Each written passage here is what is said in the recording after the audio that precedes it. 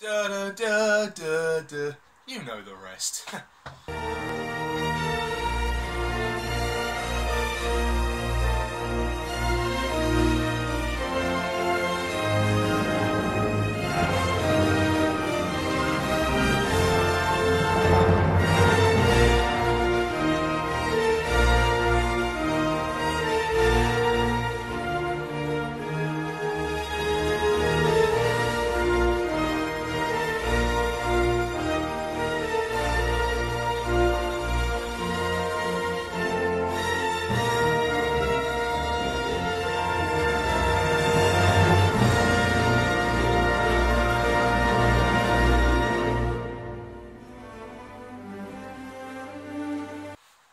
everyone, and welcome to my official ranking. The first time I have ever done this. My first official ranking of all four Jurassic Park films. Yeah, now that I have seen Jurassic World and reviewed it, and I've reviewed all of the Jurassic Park films, so if you haven't seen the reviews uh, before this, I would suggest going there for my thoughts, but if not, you're, you're more than welcome all the same. So, let's kick this off. I'm going to be ranking all the films in the Jurassic Park franchise, so Jurassic Park, The Lost World, Jurassic Park, Jurassic Park 3, and Jurassic World. So yes, uh, this is my opinion, it's a very subjective list. Um, feel free to agree to disagree, or agree. and yeah, please leave your comments down below. I'd love to hear your thoughts. Anyway, on to the list. so, at number four, I mean, this was a pretty obvious choice for me. I a lot of people actually don't rate this as the worst, but I'm sorry. I my least favorite Jurassic Park film is The Lost World Jurassic Park.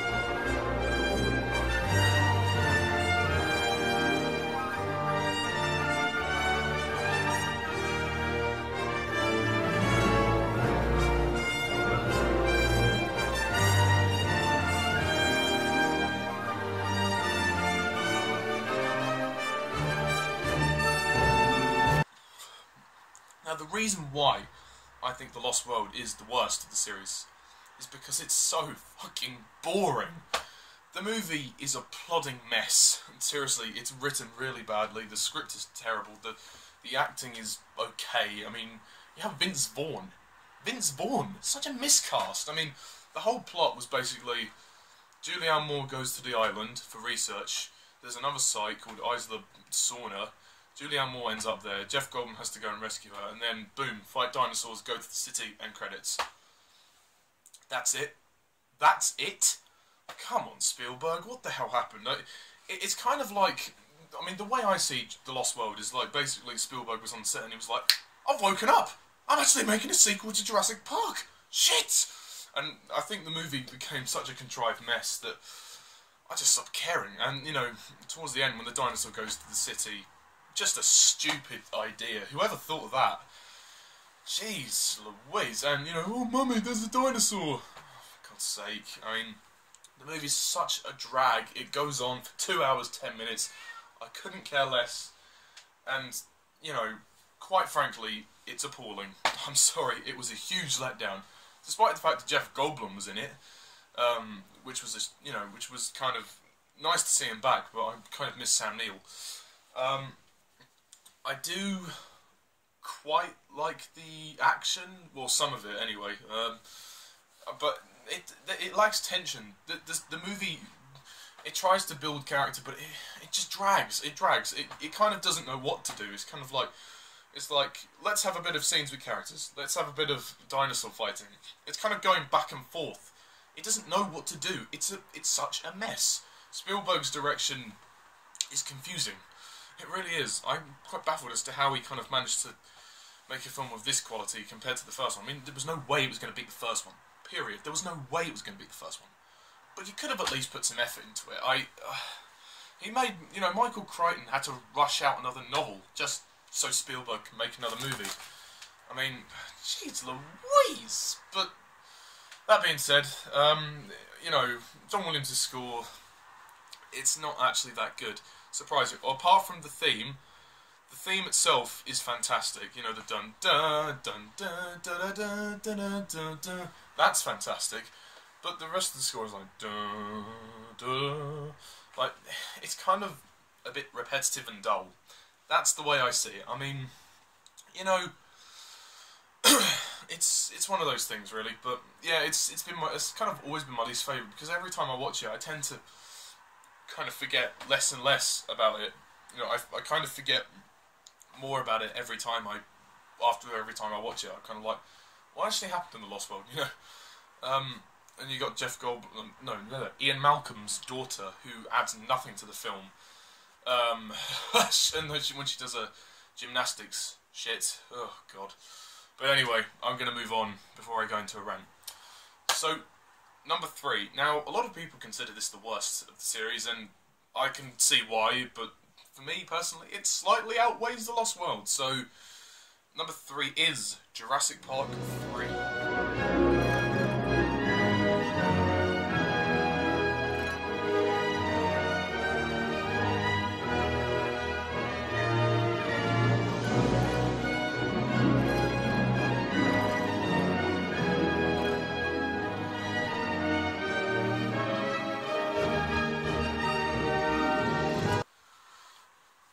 Jurassic Park 3. This one gets a lot of hate. It gets a complete bashing. Like, a lot of people don't like this film, and I mean a lot of people don't like this film. Um, I, on the other hand, I don't think it's as bad as people say. I mean, it certainly lacks the drama and intrigue and insight of the first film. Uh, it's not as boring as the second film, which is kind of why I prefer it slightly, because at least Jurassic Park 3 moves at a much quicker pace. So, in that respect, I can admire Jurassic Park 3 a lot more. Granted, it's not perfect. It fails on dramatic tension, and it fails on character development. It completely fails at just genuinely most things. I mean, the plot isn't too bad, it's basic, I mean, it kind of works, but they could have prompted a bit more emotional drama from it, you know. It's about a family, it's about a couple trying to reunite and find their son. You know, and you know Sam Neill and co are along for the ride. Uh, but it should have really focused more on the family and that emotional connection. But no, you. The problem is Joe Johnston is just like, let's make it. Let's let's. He just he, all he offers is spectacle. He doesn't understand the dramatic tension and the emotional drive of the film. You have a clear emotional drive for the film. Why don't you use it? Why are you just bombarding us with action? It doesn't work granted, the action's entertaining, but it doesn't all work. You know, okay, the music's good. The music is good. I do give props to the music, and of course, the classic theme, but you know, it's short and sweet. It moves, it romps along. It's, it's, you know, it's pretty good. But I, I don't, I don't think it's anything more than a passing film. I, I passed, I gave it a six out of ten in my review, and you know, that's kind of being generous, really. I mean, you know, um, it kind of ends a bit abruptly as well. Like you have the big spectacular climax, and then Laura Dern's the one that saves the day.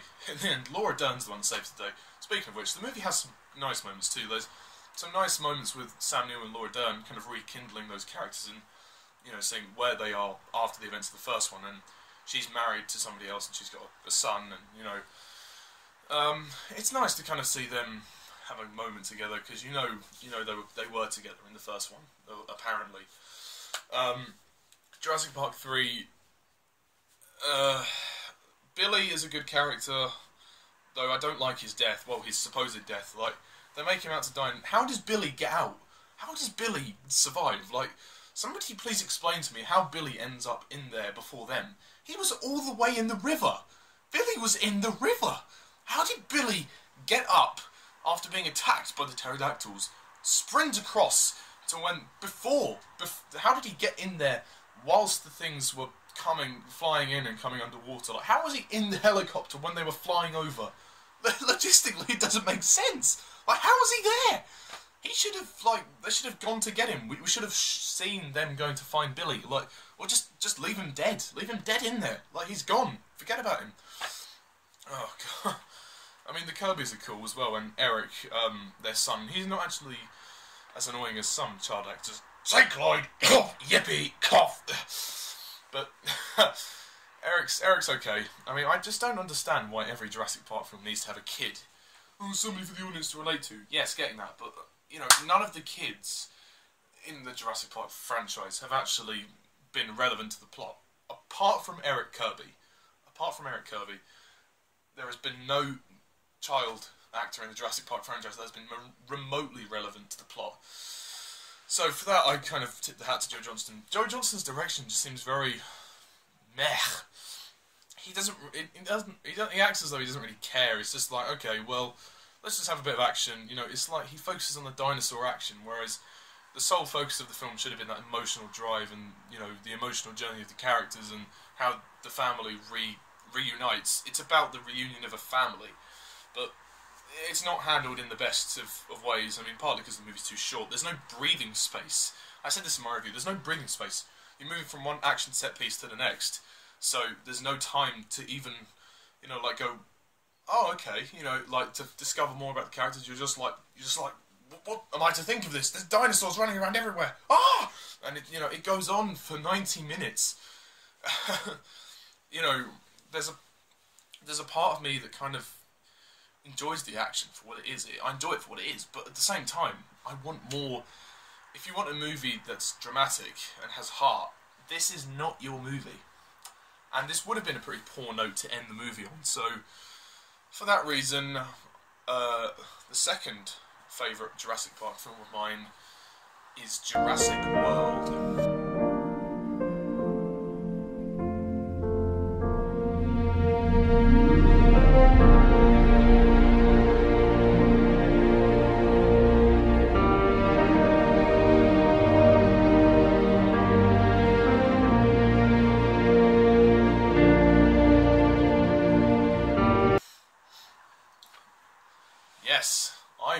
Surprised by Jurassic World, I have to say.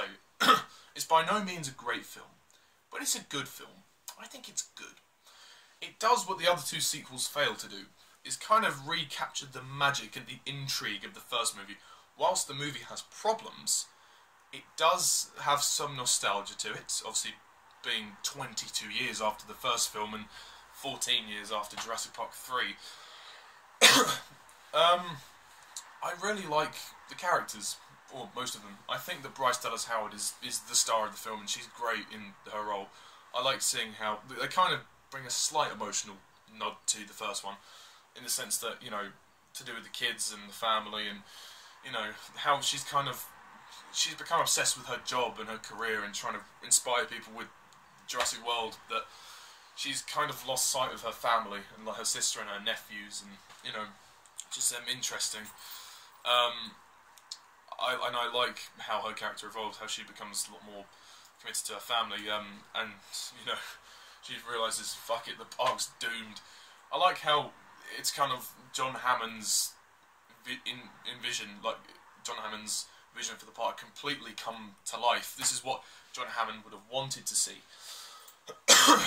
but the same time, this movie has problems. I don't think Chris Pratt really was the right casting choice. I mean, he's okay. I mean, he's, he's perfectly fine. He's watchable, but and I like his character's traits, the way he speaks, communicates with the Raptors. But for me, Chris Pratt kind of just felt like he was just himself. Like, and you know, the script. Oh God, I mean, the script is cheesy like you know, there's these whole references about him and Bryce Dallas Howard having like a date or, and then a romance, and then randomly in the middle of this complete rampage, they have a kiss. It's like there is a there, there is something going on at the moment. There is there are people dying, and you're having a little smooch. Okay. And uh, the worst thing I can say is the nephews. Oh my god, the kids. I mean, you know, what idiot decided that that would be a good idea? I mean, seriously, there's no there's no reason for them to be there. And sorry, it's really hot in here. And I, I sincerely hope that you know those kids had a good time on set. But you know, the young kid, he was just annoying. He was so overly enthusiastic about everything. He's the kid from Iron Man Three, if you didn't know. He's so overly enthusiastic. It really actually pissed me off. and his brother was a bit more tolerable, but at the same time, his brother was a complete perv. At the beginning, his brother has a girlfriend but no, he starts eyeing up all the girls in Jurassic World. Okay, fair enough. Um, the action's really good, although it's more CGI orientated. I would have liked a bit more animatronic use, but there we go. Can't have it all. I did like hearing the music in the cinema. Hearing that music is fantastic. John Williams' score, well, Michael Giacchino's score, phenomenal. But hearing that original theme as the moving on the monorail to the park, I mean, the movie pads itself out for the first half an hour. It does take its time starting. It takes its time starting to get going. Um, and the climax is a little bit dragged out as well. Like the dinosaur fighting towards the end, you're like, come on, pick up the pace. And in that respect, the movie's a little bit too long. But that being said, it's a good effort. I mean, I think the action's it's fun and entertaining. It's tense. It's thrilling. It's it's good. It's well paced. Um, it's not perfect by any means, but it's certainly entertaining. Oh, it's the best movie since the first one. It's not as good as the first one. So,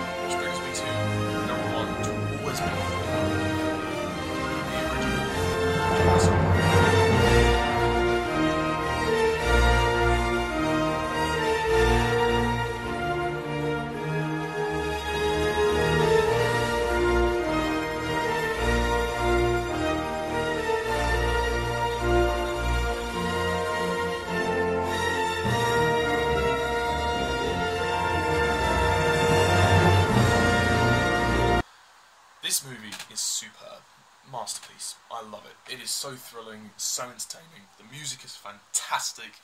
The characters are really good. Part of the kids. It, there's just so much intrigue and stuff to like. Also, I forgot to mention Jurassic World had some nice references like Mr. DNA and John Hammond's statue and stuff. I like the story, just how John Hammond wants to. He has this great big vision, this great big imagination, and that scene when he says "Welcome to Jurassic Park," amazing. It really is. I mean, there's a. Uh,